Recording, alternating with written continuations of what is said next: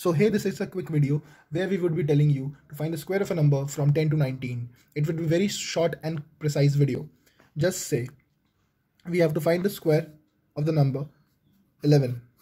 All we have to do is take out the square of the unit digit then add the unit digit in the number itself that is 11 plus 1 which makes us 12.